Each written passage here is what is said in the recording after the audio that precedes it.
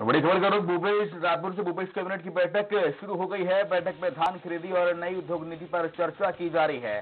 बैठक में बजट प्रस्ताव पर भी विचार किया जा सकता है।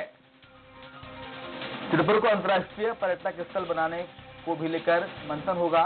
तो बड़ी खबर, छत्तीसगढ़ की राजधानी रायपुर से जहाँ पर भूपेश कैबिनेट की अहम बैठक चल रही है। बैठक में बजट प्रस्ताव पर भी विचार हो सकता है। सिरपुर में अंतर्राष्ट्रीय पर्यटक स्थल बनने पर भी मंथन है। और धान खरीदी की तारीख बढ़ने पर भी मुहर लग सकती है।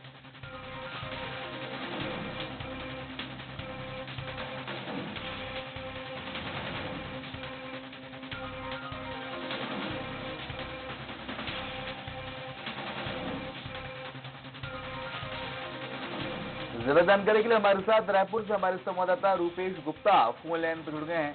रूपेश, भूपेश कैबिनेट की बैठक हो रही है। क्या कुछ घोषणाएँ इस बैठक के बाद होंगी?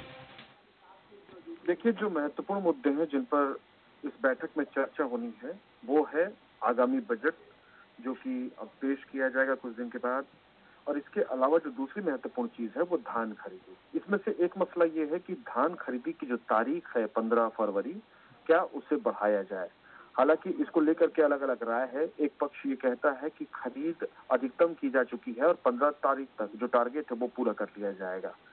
लेकिन दूसरा पक्ष ये मानता है कि चूँकि बीच में बारिश हुई है और तमाम दिक्कतें किसानों को हुई हैं, लिहाजा तारीख बढ़ानी चाहिए। तो ये कहा जा रहा है कि एक हफ़्ते मियाद बढ़ाई जा सकती है, कैबिनेट इस पर मुहर लगा सकती है।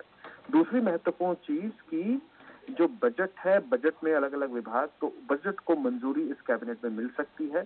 और तीसरी महत्वपूर्ण चीज़ की नई जो औद्योगिक नीति है, उसको किस तरीके से लागू किया जाए, इस पर भी चर्चा होनी है।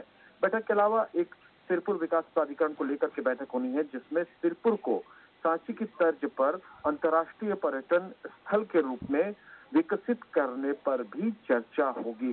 तो कुल मिलाकर के जो बातें इस बैठक को लेकर के सामने आ रही है, यही तीन चार महत्वपूर्ण मुद्दे हैं जिस पर चर्चा होनी है। क्योंकि इसके बाद कैबिनेट की बैठक नहीं हो पाएगी, क्योंकि मुख्यमंत्री 11 तारीख से 10 दिन की यात्रा पर अमेरिका चले जाएँगे, उनके साथ स्पीकर चंद्रदास महंत जाएँगे।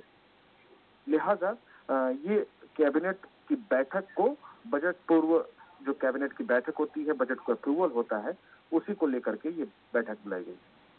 रुपेश बजट पेश होने वाला है सरकार का दूसरा अपने कार्यकाल का बजट होगा तो क्या कुछ रणनीति इस बजट को लेकर बनेगी?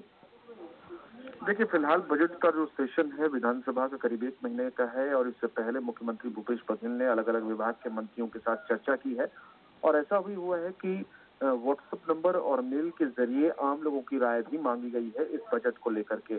तो बहुत सारे सुझाव हैं जिन पर चर्चा होनी है और मोटे तौर पे अब बजट का स्वरूप तय कर लिया गया है। उसका साइज़ क्या रहेगा? कि इस बार का जो बजट होगा वो अनुपूरक मिलाकर के पिछले साल एक लाख करोड़ से पार हुआ था। लेकिन ये माना जा रहा है कि इस बार मुख्य बजट ही करीब एक लाख करोड़ का होगा। तो ये अपने आप में एक ऐतिहासिक बात होगी कि छत्तीसगढ़ 20 साल के अपने सफ़र में भी एक लाख करोड़ के बजट तक पहुँच जाएगा। बजट का ये सिलसिला तीन हज़ार करोड़ से शुरू हुआ था जब छत्तीसगढ़ के हिस्से जब मध्य प्रदेश से छत्तीसगढ़ अलग हुआ था और आज इसका साइज़ करीब एक लाख करोड़ का हो चुका है। चलिए बहुत बहुत शुक्रिया रूपेश जानकारी साझा करने के लिए।